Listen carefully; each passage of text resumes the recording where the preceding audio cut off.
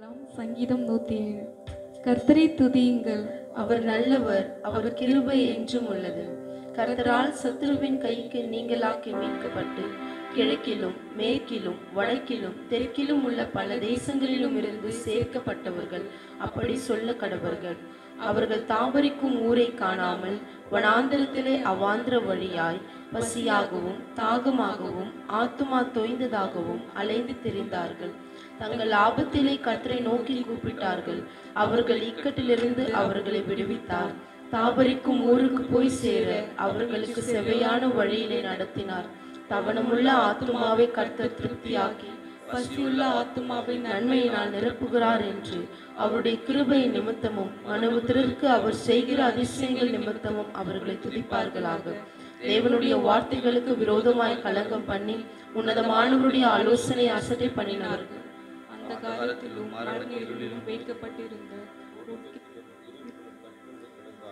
அவர்களுடைய இருதயத்தை அவர் வருத்தத்தால் தாழ்த்தினார். சகாயர் இல்லாமல் விழுந்து போனார்கள். தங்கள் ஆபத்திலே கர்த்தரை நோக்கி கூப்பிட்டார்கள். அவர்கள் இக்கட்டிலிருந்து அவர்களுக்கு நீங்களாக்கி ரட்சித்தார் அந்த காலத்திலும் மரண இருளிலும் இருந்து அவர்களை வெளிப்பட பண்ணி அவர்களுடைய கட்டுகளை அறுத்தார்.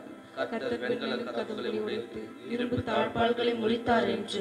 அவருடைய கிருபை நிமித்தமும் மனுபுத்திற்கு அவர் செய்கிற அதிசயங்கள் நிமித்தமும் அவரை துதிப்பார்களாக.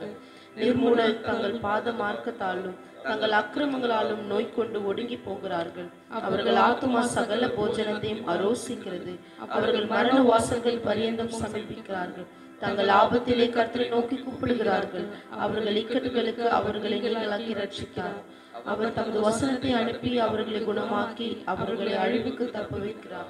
அவர்கள் கர்த்தரை அவருடைய கிருபை நிமித்தமும் மனுபுத்திரருக்கு அவர் செய்கிற அதிசயங்கள் நிமித்தமும் துதித்து ஸ்தோத்திர பலிகளை செலுத்தி அவருடைய கிரியைகளை ஆனந்த சத்தத்தோடு விவரிப்பார்களாக.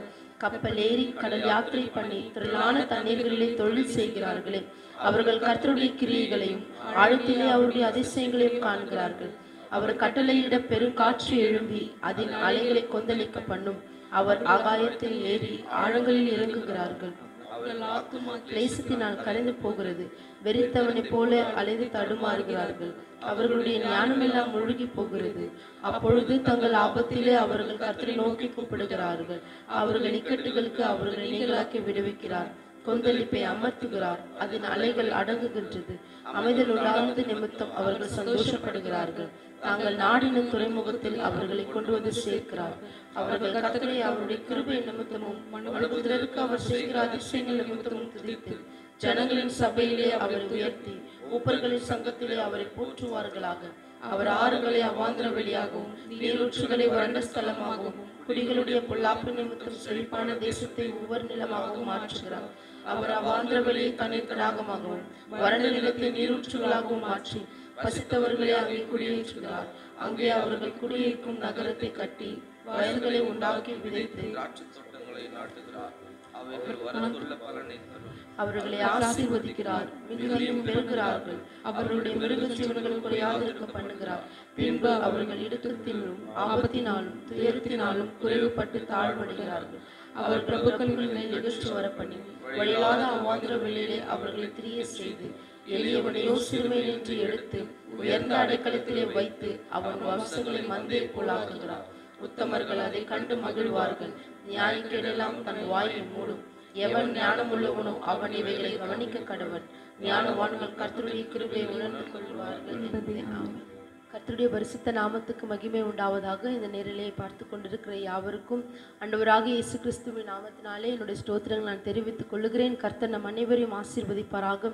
இந்த நாளிலும் நாம் தியானிக்க போகிற சங்கீதம் சங்கீதம் நூற்றி இருபத்தி ஏழு இதில் மொத்தம் நாற்பத்தி மூன்று வசனங்கள் உள்ளது. இந்த நாற்பத்தி மூன்றாம் வசனத்தில் இந்த சங்கீதக்காரன் அழகாய் ஒரு வார்த்தை சொல்லுகிறார். எவன் ஞானம் உள்ளவனோ அவன் இவைகளை கவனிக்க கடவன். ஞானவான்கள் கர்த்தருடைய கிருபைகளை உணர்ந்து கொள்வார்கள். அப்படி இந்த சங்கீதத்தில் என்ன காரியங்கள் நாம் கவனிக்க வேண்டும்? இதில் என்ன கர்த்தருடைய கிருபைகளை நாம் உணர்ந்து கொள்ள வேண்டும் என்பது இந்த சங்கீதக்காரன் மீதியுள்ள நாற்பத்தி ரெண்டு வசனங்களிலும் அழகாய் வெளிப்படுத்துகிறார். இந்த நாற் இந்த நூற்றி ஏழாம் சங்கீதத்தை இவர்தான் எழுதினார் என்று வேத நிபுணர்களால் இன்னும் யாராலும் சொல்ல சொல்லவில்லை. சிலர் வந்து இவ் இது ஆசாரியர்களால் எழுதப்பட்டிருக்கலாம். அதாவது தேவனுடைய ஆசரிப்பு கூடாரத்தில் இருக்கிற லேவியர்களால் எழுதப்பட்டிருக்கலாம். சிலர் இது தாவிது என்கிறார்கள். சிலர் மாறி மாறி ஒவ்வொருத்தரும் மாறி மாறி சொல்லுகிறார் ஆனால் இவர்தான் கண்டிப்பாக எழுதியிருக்க முடியும் என்று யாரும் இதுவரைக்கும் சொல்லலை. வேத நிபுணர்கள் சொல்லுகிற ஒரு காரியம் இந்த வார்த்தைகள் இந்த வ- இந்த சங்கீதம் நூற்றி ஏழாம் சங்கீதம் இஸ்ரவேல் ஜனங்கள் தங்களுடைய சிறையிருப்பிலிருந்து திரும்பி வந்து இரண்டாம் ஆலயத்தை கட்டி அதை பிரதிஷ்டை பண்ணும்போது இந்த சங்கீதத்தை பாடி இருக்கலாம் அதாவது ஆசாரியன் இதை ஜனங்களுக்கு முன்பாக பாடி இருக்கலாம் என்று வேத நிபுணர்கள் குறிப்பிடுகிறார்கள். இந்த நூற்றி இருபத்தி ஏழாம் சங்கீதத்தில் சங்கீதக்காரன் ஒரு ரெண்டு வகையான ஜனங்களை குறிப்பிடுகிறார். ஒன்று வனாந்திர வழியாய் நடந்து வந்த ஜனங்கள் இன்னொன்று கடல் வழியாய் தொழில் செய்த ஜனங்கள். இதில் நாலாம் வசனத்திலிருந்து இருபத்தி ரெண்டாம் வசனம் வரைக்கும் வனாந்திர வழியாக நடந்து வந்த ஜனங்களை குறித்து இந்த சங்கீதக்காரன் அழகாய் ஒரு வார்த்தையை சொல்லுகிறான். ஜனங்கள் வனாந்திர வழியாக நடந்து வந்தார்கள். அவர்கள் நடந்து வரும்போது நிறைய பிரச்சனைகள் மரண இருள் அவர்களுக்கு முன்பாக இருந்தது. நிறைய போராட்டங்கள் அவர்கள் சந்தித்தார்கள். அவர்களுடைய ஆத்மா தோய்ந்து போயிருந்தது. அவர்கள் சோர்ந்து போயிருந்தார்கள். ஆனாலும் தங்களுடைய ஆபத்தில் கர்த்தரை நோக்கி கூப்பிடும்போது கர்த்தர் அவர்களுடைய செபத்தை கேட்டார். கர்த்தர் அவர்களை அந்த ஆபத்திலிருந்து நீங்களாக்கி ரட்சித்தார். இந்த சங்கீதத்துக்கு இன்னொரு பேரும் உண்டு. ஆண்டவரை நோக்கி கூப்பிடும்போது ஆபத்து காலத்தில் அவரை நோக்கி கூப்பிடும்போது சத்தத்தை கேட்கிறவர் என்- என்றும் இந்த சங்கீதத்தை குறிப்பிடுகிறார்கள். காரணம் இந்த வசனம் தங்கள் ஆபத்திலே கர்த்தரை நோக்கி கூப்பிடார்கள். அவர் அதை கேட்டு அவர்களுடைய இக்கட்டுகளுக்கு அவர்களை நீங்களாக்கி ரட்சித்தார் நீங்களாக்கி விடுவித்தார். இந்த ஒரு வசனம் இந்த சங்கீதத்தில் அதிக முறை பயன்படுத்தப்பட்டிருக்கிறது. அதனால் இந்த சங்கீதத்தை இப்படி ஒரு பெயர் வைத்து அழைக்கிறார்கள். இந்த சங்கீதத்தை இந்த வனாந்திர வழியை நடந்து வந்த ஜனங்களை குறித்து சங்கீதக்காரன் சொல்லுகிறார் நிறைய நேரத்தில் அவர்கள் ஆண்டவரையும் சோதித்தார்கள் ஆண்டவருக்கு விரோதமாகவும் நடந்தார்கள். ஆனாலும் அவர்களுக்கு ஆபத்துன்னு ஒரு பிரச்சனைன்னு வரும்போது அவர்கள் ஆண்டவரை நோக்கி கூப்பிடும்போது ஆண்டவர் அவர்களுடைய ஆபத்திலிருந்து அவர்களை விடுவித்தார். அவர்களுடைய ஆபத்திலிருந்து அவர்களை நீங்களாக்கி ரட்சித்தார் என்பதை குறிப்பிடுகிறார். இருபத்தி மூன்றாம் வசனத்திலிருந்து நாற்பது ரெண்டாம் வசனம் வரைக்கும் கப்பல் ஏறி பயணம் செய்கிறவர்கள் இதில் மூன்றாம் வசனம் சொல்லுகிறது கிழக்கிலும் மேற்கிலும் வடக்கிலும் தெற்கிலும் உள்ள பல தேசங்களிலும் இருந்து சேர்க்கப்பட்டவர்கள். அப்படி சொல்ல கடவர்கள்.